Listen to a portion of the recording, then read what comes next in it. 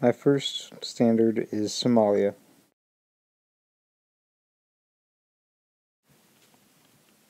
During the 70s and the 80s, Somalia had a socialist government. At that time, Somalia was trying to decide on either the Soviets or the United States, but even though the Soviets were close to the Somalian government, they settled on the United States.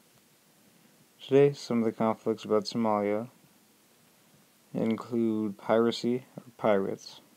Since 2005, many organizations expressed concerns in the rise of piracy and pirates in Somalia.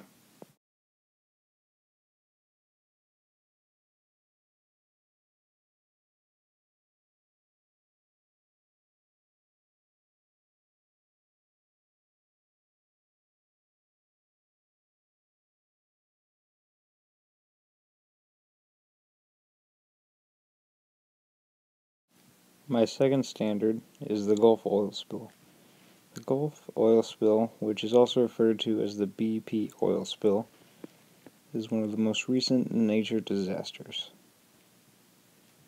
It also drastically affected the U.S., and the spill killed 11 workers when it first started. That is when the first ring exploded. And afterwards, oil flowed for three months soaking animals and birds, and threatening the entire Gulf coastline.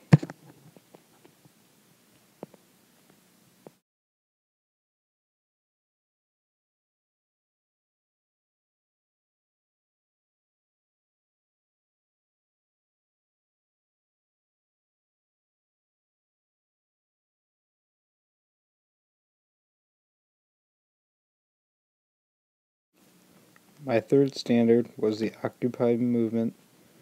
The Occupy movement is an international protest movement against social and economic inequality.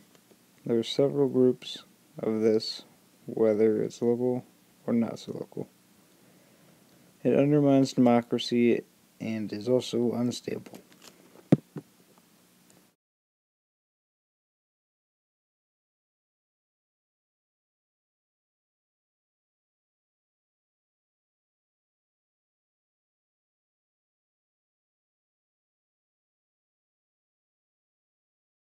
My fourth standard is steroids in sports. Until 2002, the Major League Baseball Association never tested players for steroid usage, and they were also not penalized in America.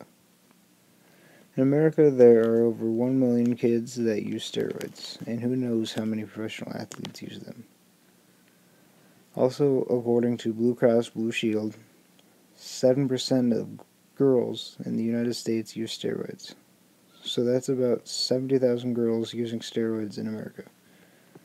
And now, in present day, after every sporting event and before every sporting event, athletes are tested for drugs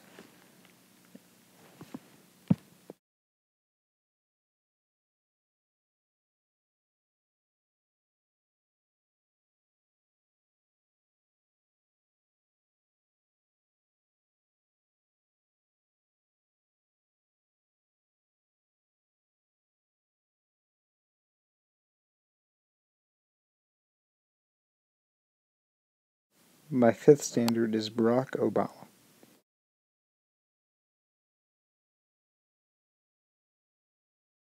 Today, Barack Obama is the 44th and current President of the United States.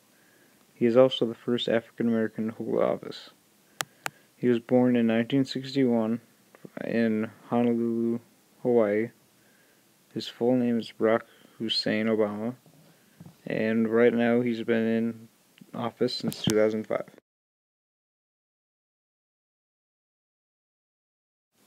Obama's major contribution to being in office is the Affordable Care Act, or also known as Obamacare. This extends health care to millions of Americans, including those with pre existing conditions.